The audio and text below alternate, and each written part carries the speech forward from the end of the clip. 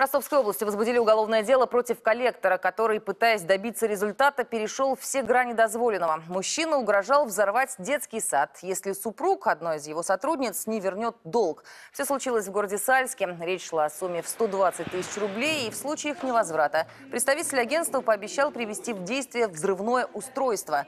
Заведующая детсадом сразу же позвонила в полицию. По вызову незамедлительно выехала оперативная группа, взрывотехники, кинологи с собаками, а также скорая помощь. Из здания вывели более 150 малышей, два десятка взрослых. Проверили все помещения и прилегающие территории. Взрывное устройство обнаружено не было. В ходе проведения оперативно-розыскных мероприятий сотрудникам полиции совместно с представителями УФСБ был задержан гражданин по месту его работы в одном из коллекторских агентств города Ростова-на-Дону, который подозревается в э, совершении данного телефонного звонка.